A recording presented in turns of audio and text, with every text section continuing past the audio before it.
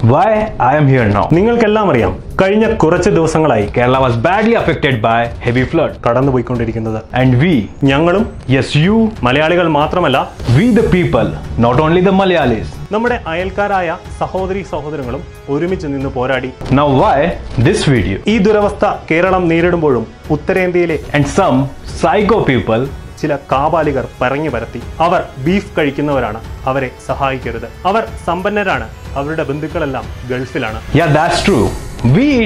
അത് ശരിയാണ്. ഞങ്ങൾ ബീഫ് കഴിക്കുന്നവരാണ്. പക്ഷേ ഇത്രയും വലിയ ഒരു ദുരന്തത്തെ നേരിടാൻ മാത്രം സാമ്പത്തിക ശേഷി ഞങ്ങൾക്കില്ല സാങ്കേതിക വിദ്യ ഞങ്ങളുടെ അടുത്തില്ല But I am true happy to say that no one has given damn to their words. കേരളത്തിനെതിരെ ഈ കാപാലികർ വായിട്ടലച്ചപ്പോഴും ഇന്ത്യയിലെ ഭൂരിപക്ഷം ജനങ്ങൾ ഞങ്ങൾക്കൊപ്പം നിന്നു താങ്ങായി തണലായി That's what I like about this nation and proud to be an Indian. ഈ പിന്തുണയാണ് ഞങ്ങളെ പ്രേരിപ്പിക്കുന്നത് Now in the last, we just want to thank to the people, our people, ഇപ്പോഴും പ്രാർത്ഥനയും സഹായവുമായി നിൽക്കുന്ന എല്ലാവരോടും മലയാളികളുടെ ഹൃദയത്തിൽ തൊട്ടുള്ള പ്രണാമം being a Malayali sorry but being an Indian ഈ പിന്തുണയാണ് ഞങ്ങൾക്ക് മലയാളി എന്ന വികാരത്തിൽ നിന്നും ഇന്ത്യക്കാരൻ എന്ന വികാരത്തിലേക്ക് മാറാൻ പ്രേരിപ്പിക്കുന്നത്.